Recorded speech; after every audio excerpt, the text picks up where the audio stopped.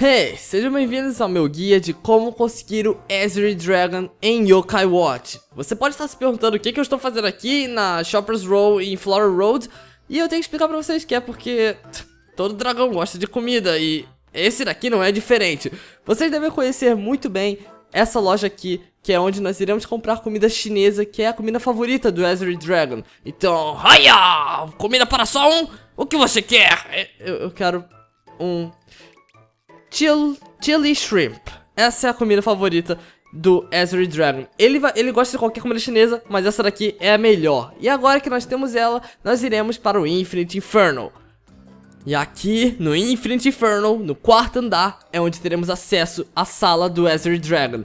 É verdade que ele pode aparecer em qualquer lugar do Infinite Inferno, assim como qualquer outro yokai, mas ele tem uma chance muito maior de aparecer nessa sala aqui. Quando você chegar no quarto andar, você vai andar duas salas para a direita e essa daqui é a sala onde ele deve aparecer com mais frequência do que qualquer outra. Ele com certeza tem uma chance baixa de aparecer, mas não é tão baixa quanto qualquer outra sala. Então as chances dele aparecer aqui são muito mais altas. Eu vou ficar aqui por um tempo até ele aparecer. Eu espero não ter que cortar enquanto eu falo, eu posso procurar ele. Então, é... Se você tá aqui e não sabe quem é o Ezreal Dragon, ele é uma espécie de Dragon Lord na versão Shine dele. O Dragon Lord é a evolução do Drag, então eu acho que agora sim você tá mais situado de quem é esse cara. E ele tem uma pequena chance de aparecer aqui. A diferença dele pra uma versão Shine de qualquer Pokémon ou Yokai, seja lá o que você queira chamar, é porque o Dragon Lord, o Shine, o, o Dragon no caso, ele tem as suas próprias skills modificadas para aparecer. E aí está ele. Nossa, nem demorou muito, maravilha.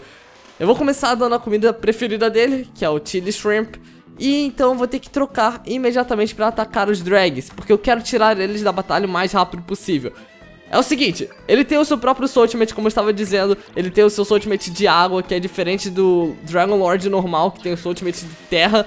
Então, isso já é um grande detalhe muito legal do Ezreal Dragon, sem falar que você precisa dele para completar o seu Medallion e ele é muito legal em termos de design também. Mas enfim, nós vamos derrotar esses dois, Dragon, esses dois Drags porque eles são muito chatos na hora que você vai pegar um Wisp. Quando você tem que pegar um Wisp e, por exemplo, um Wisp de... Holy shit, é um Wisp de coração! É, eu já... Eu já me adiantei demais aqui no assunto, mas o Wisp de coração ele divide para todos os yokais quando você pega ele. Então você quer eliminar todos os outros yokais que estão no jogo que está na batalha, sinto muito, até só sobrar o que você quer capturar. Assim aumenta a chance de você ter ele. Eu não sei se eu vou conseguir ele, eu consegui um coração do Wisp e um coração da comida, mas eu tenho os meus yokais de popularidade também, isso é muito importante. E não, eu consegui o Drag. Outro detalhe importante também é que o Wisp de coração, ele vai priorizar os yokais que tem um rank menor. Então pelo Drag ser rank D e o Ezreal Dragon ser rank S, você já sabe que o Wisp de coração ia priorizar ou capturar o Drag para nós. Então isso é um grande problema, mas você vai ter que se acostumar com isso, é o sistema do jogo. Apenas continue tentando até você ter a sorte de conseguir um Ezreal Dragon. E é exatamente isso que eu vou fazer agora, então... Me deseje sorte! Pelo menos eu consegui um drag. E... Drag. E ok, finalmente conseguimos para o nosso lado o Ezreal Dragon. Demorou bastante, eu não vou mentir, mas para o bem desse vídeo eu tive que fazer isso. Eu tô gravando isso daqui literalmente uma hora antes de ter que postar o vídeo, então eu espero que isso saia a tempo, porque eu fiquei muito, muito tempo para conseguir ele. Mas valeu muito a pena. Uou, você quer juntar os nossos destinos? É claro que sim, Ezreal Dragon. Você não sabe como foi aliviante ouvir isso agora. Mas é isso, pessoal. Espero que vocês tenham gostado de mais um episódio de como pegar seu yokai. Se você quiser ver mais como esse, eu tenho uma playlist inteira. Eu vou deixar o último episódio aí na tela para vocês clicarem. Se você tiver interesse em qualquer outro yokai para eu pegar, apenas comente aí que eu vou tentar pegar ele para vocês em vídeo.